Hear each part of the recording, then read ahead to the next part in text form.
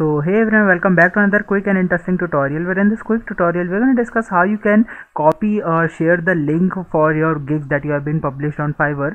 And if you have the link you can share that particular gig or the, that link over any other social media platform. So you can copy the link from of the gigs from any of the devices you have. For example if you have a smartphone you can do the same process from there also.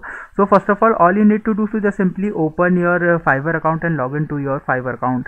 So let me open the Fiverr on my PC now when I open the Fiverr this is the home page. You all have been familiar with this. Now first of all let me switch to the selling account. You're gonna see this option of switch to selling. When I click there now you're gonna see this is the dashboard of my profile.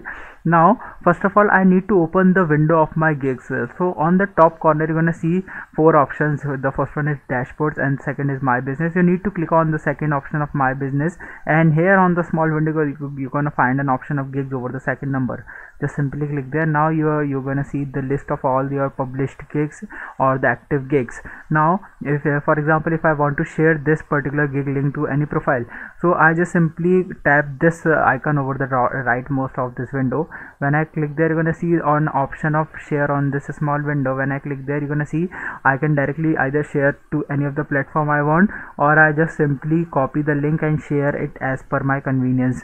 So by this method you can easily copy and share the link of the gigs that you have been published on fiverr. I hope this video will be helpful for you. Make sure to hit the like button and subscribe button for having such more helpful and interesting tutorials. See you in the next one. Take care